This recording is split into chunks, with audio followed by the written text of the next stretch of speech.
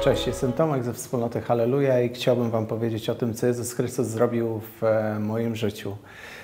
Urodziłem się i wychowałem w rodzinie katolickiej, rodzice dobrze mnie wychowali, byłem ministrantem, chodziłem do kościoła, lecz jak miałem 16 lat, przyjechałem z mojej małej miejscowości tutaj do Wrocławia, aby dalej uczyć się e, w liceum.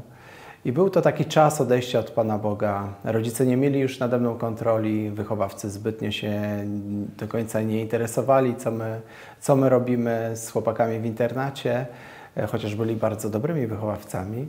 E, to jednak e, to było takie odejście, które było związane z, z, taką demoralizacją, z jakimś takim imprezowym stylem życia. No i tak naprawdę niechodzeniem już nawet w niedzielę do, do, do kościoła, nie miałem potrzeby e, Pana Boga. I trwało to do czasu, kiedy we wrześniu 1992 mm, roku dowiedziałem się, że właśnie e, mój przyjaciel, kuzyn nie żyje.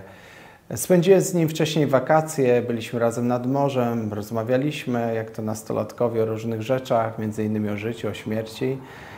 E, a tu nagle dowiaduję się, że on nie żyje. E, ta sytuacja wywołała we mnie taki wstrząs, e, bo przyszła informacja jeszcze, że został zamordowany, został zabity w dniu swoich 18 urodzin. I to, to napięcie całe, ten stres, to niezrozumienie spowodowało, że poszedłem na religię. Uczył mnie wtedy mm, katechezy taki ojciec Franciszkanin, ojciec Roman i mu powiedziałem, Zapytałem się go po lekcji, pamiętam, e, dlaczego tak jest, że e, młodzi ludzie umierają. Skoro Pan Bóg jest miłością, dlaczego są, były obozy koncentracyjne, dlaczego dzieci w szpitalach umierają, nic nie zawiniły. I on mi powiedział, żebym się nie pytał dlaczego, tylko co Bóg chce mi przez tą sytuację powiedzieć i żebym szukał odpowiedzi w Piśmie Świętym. I to była bardzo cenna wskazówka, bo ja miałem Pismo Święte, ale w domu gdzieś na półce, jako dziecko lubiłem czytać Biblię i opowieści biblijne. Miałem nawet taką Biblię w obrazkach, ale potem nie sięgałem jakoś specjalnie, nigdy nie czytałem tej Biblii, takiego tekstu. Oprócz tego, jak byłem ministrantem, to jako lektor gdzieś tam lekcje czytałem. Natomiast e, on powiedział, że tam znajdę odpowiedzi na moje pytania. No i zacząłem, e, zacząłem szukać e, odpowiedzi na pytanie, dlaczego tak jest. Ale Pan Bóg mnie zaskoczył, bo On zadał mi pytanie, a na jakiej drodze życia Ty jesteś? To pytanie usłyszałem w moim sercu. Na jakiej drodze życia jesteś i co by się stało, gdybyś Ty dzisiaj umarł, gdybyś to Ty zszedł z tego świata? Czy jest Bóg? Czy jest niebo? Czy jest piekło? E, I kiedy czytałem kazanie na górze, bardzo mocno przemówił do mojego serca fragment, w którym jest napisane, że są dwie drogi. Jedna szeroka i przestronna e, autostrada, która prowadzi do zatracenia, jedna droga, wąska ścieżka, która prowadzi do zbawienia, niewielu jej, ją znajduje.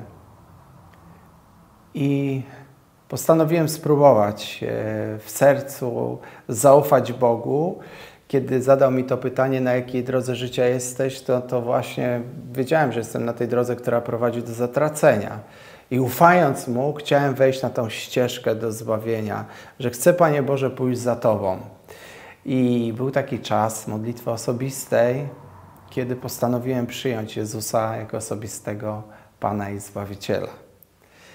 E, I nastąpił przełom w moim życiu. Przygoda, która trwa już e, 26 lat, w której Pan Bóg zaczął działać, kiedy zobaczyłem, jak potężnie działa, jak e, przychodzi ze swoją mocą, jak obdarza Duchem Świętym i swoim prowadzeniem, jak mnóstwo w moim życiu zdarzyło się cudownych zbiegów okoliczności, których reżyserem był sam Jezus Chrystus.